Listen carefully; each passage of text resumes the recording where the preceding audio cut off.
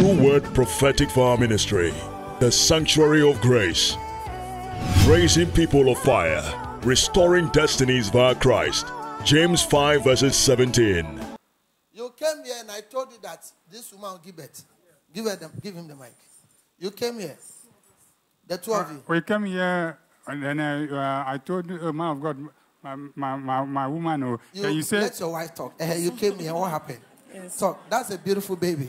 Eh, you came here. Yes, when we were in the congregation, you told me to go and lie on the altar. I was led to tell you to go and lie on the altar. Yes, so I did. So you did. And later you came to tell me that to see you after the service. I told you to see me after the service. Yes. Right. And what happened? So I met you in your office. So you met me in my office, in our office. In our office, yes, sir. Yeah. So you directed us to get three bottles of wa- water, Voltic bottle. Normal water. Normal water. All right. So you prayed on it, Mm-hmm. and you said I should pray with it midnight, 12 o'clock. Mm-hmm. But you released me to go and give birth I said I released you to go and give birth. within one week. That was the word. Yes. That I release you. You said you release me. You said, my and- doctor, I release you to go and give birth from now till Monday. Okay. And I gave birth on that week, Monday.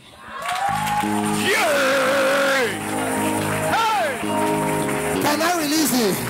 Yes! I release you to go and prosper. Amen! I said, I you Amen! go and marry for me. Go and buy a car for me. Go and get that job for me. Amen! Lead this church to do so well. Amen! And he said, The Lord has released me. The Lord has released me! True Word Prophetic Fire Ministry, the Sanctuary of Grace, raising people of fire, restoring destinies via Christ. James 5 verses 17.